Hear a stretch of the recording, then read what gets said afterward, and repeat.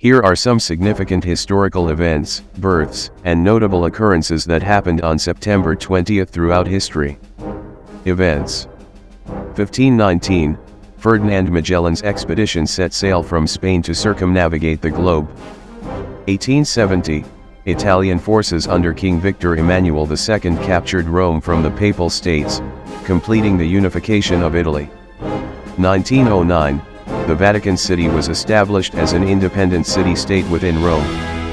1948, the Honda Motor Co. was founded by Soichiro Honda in Japan.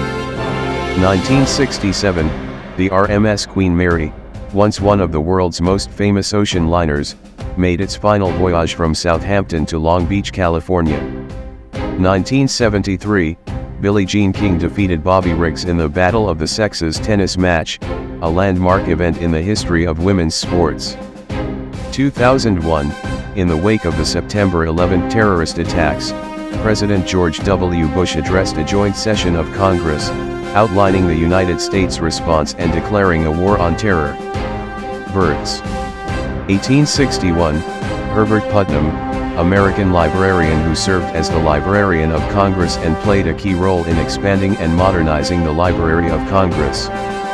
1928, Kirsten Rolffes, Danish actress known for her work in Danish cinema and theater.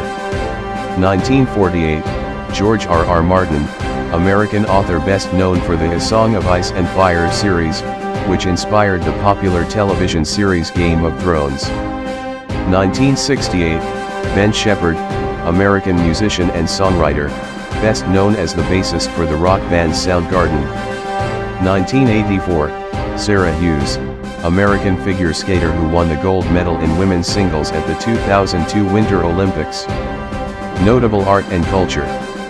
1911, Gustav Mahler's Symphony No. 8, often referred to as the Symphony of a Thousand, premiered in Munich, Germany. 1967, the Beatles released their iconic album Magical Mystery Tour in the United States. 2003, the science fiction television series Firefly, created by Joss Whedon, made its debut on the Fox network. That was today in the history.